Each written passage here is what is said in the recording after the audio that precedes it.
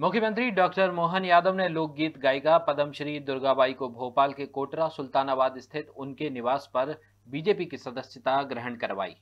दुर्गाबाई मुख्यमंत्री मोहन यादव के कामों से प्रभावित है। भारतीय जनता पार्टी सदस्यता अभियान के दूसरे फ़ेज़ में मुख्यमंत्री डॉक्टर मोहन यादव ने पद्म श्री अवार्ड से सम्मानित लोकगीत गायिका दुर्गाबाई को बीजेपी की सदस्यता दिलाई। इस मौके पर मुख्यमंत्री डॉक्टर मोहन यादव ने कहा है कि बीजेपी का सदस्यता अभियान देश और प्रदेश भर में चल रहा है। हमारे पास पद्मश्री दुर्गाबाई का संदेश आया, वह मिलना चाहती हैं और बीजेपी की सदस्यता ग्रहण करना चाहती है। रानी दुर्गावती की राजधानी संग्रामपुर में कार्यक्रम किया गया, जिससे दुर्गाबाई बहुत खुश हैं। मुख्यमंत्री खुद उनके घर पहुंचकर दुर्गाबाई को भाजपा परिवार का हिस्सा बनाया और साथ ही मुख्यमंत्री ने यह भी कहा कि बीजेपी दुनिया की सबसे बड़ी लोकतांत्रिक पार्टी ऐसे ही लोगों से मिलकर बनी है। आज भारतीय जनता पार्टी का सदस्यता अभियान पूरे देश और प्रदेश में चल रहा है।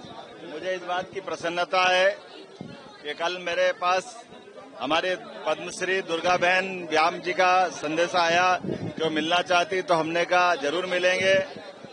उनके मन में रानी दुर्गावती जी के प्रति भारतीय जनता पार्टी के सरकार द्वारा जिस प्रकार से पूरे वर्ष विविध कार्यक्रम किए गए और खास तौर पर कल हमारे द्वारा संग्रामपुर उनकी राजधानी में जो कार्यक्रम कर रहे हैं, मुझे इस बात का संतोष है कि आज वो हमारे परिवार के बीच जुड़ी है। माननीय मोदी जी के काम को पसंद करती है, भारतीय जनता पार्टी की सरकार के भाव को समझती है और रानी दुर्गावती को स्मरण करते हुए जो सरकार काम कर रही है, उससे वो अत्यंत प्रसन्न है।